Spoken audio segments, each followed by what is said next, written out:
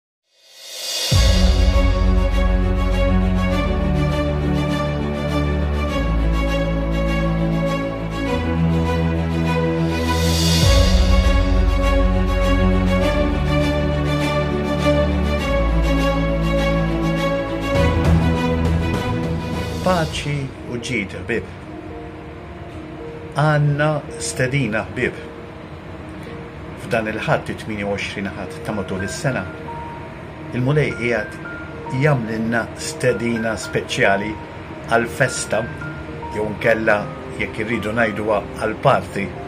U dan il-party huwa deskritt mill-profeta Iżaija bħala party b'imwejjed b'ikel fin, b'imbejjed ħelwa kif ukoll fini u b'laħam imsemmen bil-mudullun.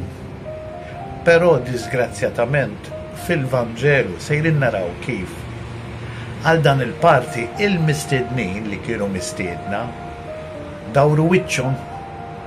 u ma ridux imorru, min għax kellu ħaġa u min għax kellu oħra. Ħbieb tiegħi, aħna bil-Malti ngħidu, Min jobżof fis-sema, jiġi f'wiċċu. U allura ħbieb, meta aħna nirrifjutaw niċħdu l-istedina tal-Mulej, allura f'wiċċna jiġi. u jkollna inħallsu għad-deċiżjoni tagħna għax kulħadd irid iħallas fil-ħajja għad-deċiżjonijiet li jieħu. Ħbieb tiegħi l-Mulej qiegħed jistedinna permezz ta' din il-liturġija ta' dan il-Ħadd. Qed jistidinna għall-parti tal-imħabba għax l-imħabba iġġib ħafna paċi u ħafna ferħ fil-qalb. Infatti fl-ewwel qari mill-profeta Eżaija, Naraw kif il-Mulej għad jixxotta kull demgħa u jeqred għal dejjem il-mewt, għax ħbieb tiegħi, bil-ġlied ma naslu mkien, il-Papa propju għadu kemm għamel intervent wara li faqqgħet din il-ġimgħa faqqgħet dik il-gwerra fil-Lvant Nofsani. Proprju hekk qal, qal bil-gwerra u bit-terroriżmu ma naslu mkien, ma nirranġaw xejn, anzi noħolqu aktar problemi, ħbieb tiegħi.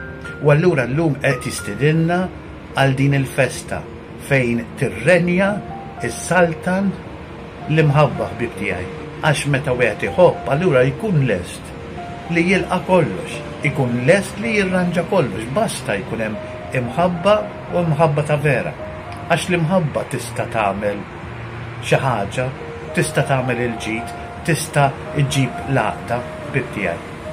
Mill-qbija, ħbieb tiegħi, il-ġlied ma jwassalna imkien.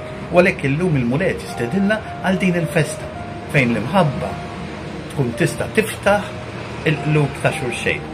Jekk nagħmlu dan, il-Mulej jagħtina ħafna u ħafna sliem li tant u tant għandna bżonn dak is-sliem li jkeċċi kull xorta ta' mibegħda, ħbieb tiegħi.